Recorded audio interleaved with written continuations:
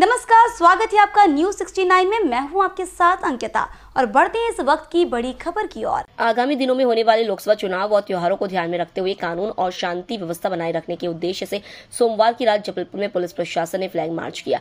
Police अधीक्षक आदित्य प्रताप सिंह के नेतृत्व में थाना कैंट सीएसपी उदयभान भगरी और थाना प्रभारी कैंट राजकुमार खट्टक और थाने के बल ने संवेदनशील क्षेत्रों में पैदल फ्लैग मार्च किया। पुलिस अधिकारियों ने बताया कि आगामी लोकसभा चुनाव 2024 को दृष्टिगत रखते हुए वेस्ट बंगाल की एसएसपी की तिरपनवीं बटालियन की एक कंपनी, जिसमें लगभग पिछहत्तर अधिकारियों, कर्मचारी जबलपुर ज़िले को मिले हैं।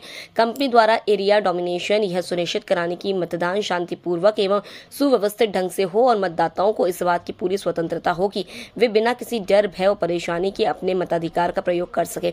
इसके लिए शहर और देहात के अलग अलग थाना क्षेत्रों के संवेदनशील एरिया में फ्लैग मार्च प्रतिदिन किया जाएगा। जबलपुर से न्यूज़ सिक्सटी नाइन के लिए वाजिद खान की रिपोर्ट।